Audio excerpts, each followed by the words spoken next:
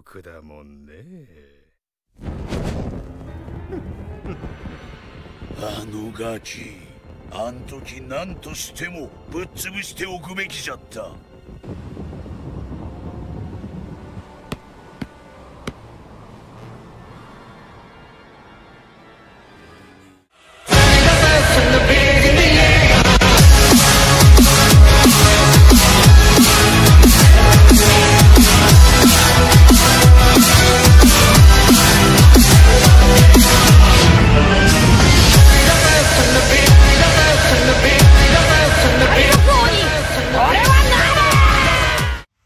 Hello guys, welcome back to the channel.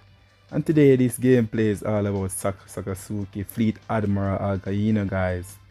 This guy, I do not have this guy any at all, but I have some gameplay featuring Beast, my dupes, you know what I mean? So this gameplay, I have about two gameplay for you guys. I did get some more gameplay from him, but I did not get to retrieve them. So I'm just gonna showcase you guys what this character can do. He's a very broken unit to be honest.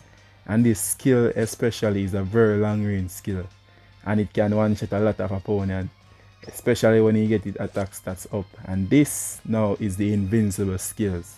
This is like this skill 2 is the most important skills.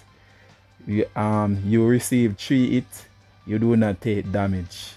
So once you put up this skill, you will be invincible for three hits. So Roger cannot come Osorio and all these other units in the game. It's crazy guys to be honest. So when when you're inflicted with his incineration, it burns your life right down. So this guy is pretty broken and it attack attack stats can go up to what 50 a 50% I believe each time by 10% and we reset one scale. So he's a very good unit.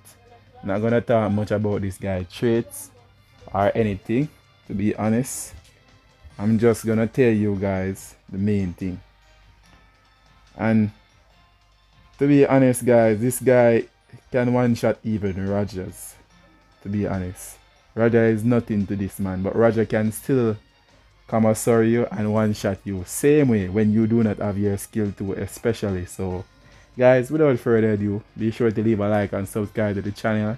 I'll put the link of beast down below. This guy is crazy. This guy is a very good player to be honest. So i will put the li link down in the description below so you can go and subscribe to ch his channel. He have some very good content.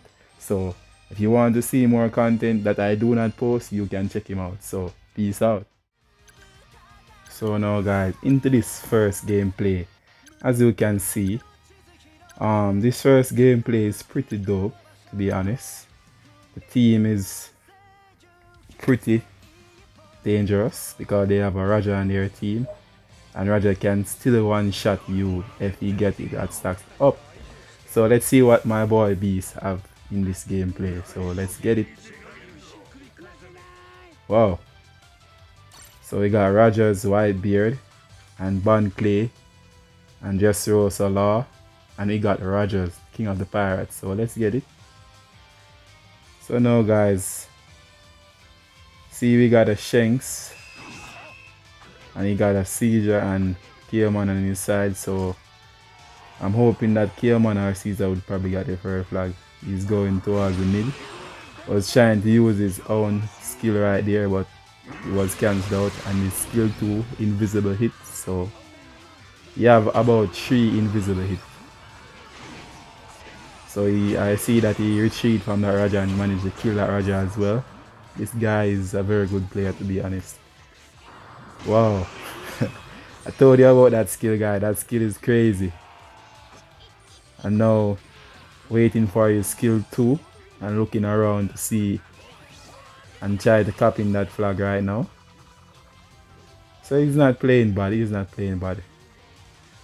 So I'm seeing that one of his teammates just died, so he's going around now, going to defend the mid and use his own skill right there, which is a very good skill. And now skill 2, which is the invisible skill, and he one shot that Zaro. No, he did not one shot the Zaro. And the Zara is about to die. Incineration will kill him. So see that Dressrosa is coming towards him and he showed that skill. He managed to hit him but not much damage. Oh, Marco. Marco is here as well and they got the team boost. Both of the team got the team boost so he's trying to get this flag and Whitebeard interrupt him so he uses skill 2 and managed to one shot that white beard. Easy, easy kill. Very easy kill. So now he's trying to get this flag. Managed to get the flag. Now I think he's going towards the mid to defend the game and use his skill right there to hit that Shanks. Shanks is trying to cut the mid flag. Wow, and Zara stooping and Shanks was dead. So Caesar is in the mid, so he's getting in the clear and waiting for his skill.